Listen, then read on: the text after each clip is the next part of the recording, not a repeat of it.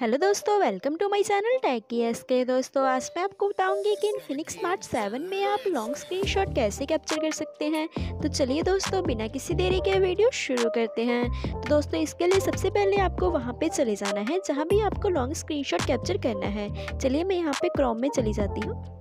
वहाँ पे जाने के बाद आपको सबसे पहले नॉर्मल वाला स्क्रीनशॉट कैप्चर करना है, जो कि वॉल्यूम डाउन बटन और पावर बटन को एक साथ प्रेस करने से होता है।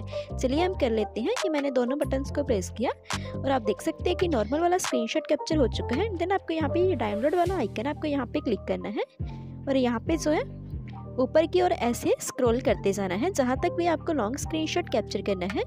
तो दोस्तों एंड देन आपको यहाँ पे नीचे फिनिश स्क्रॉल शॉट पे क्लिक कर देना है।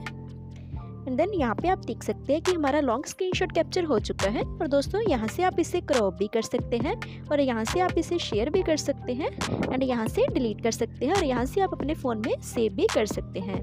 तो दोस्तों, ऐसे आप जो है लॉन्ग स्क्रीनशॉट कैप्चर कर सकते हैं अपने फ़ोन में।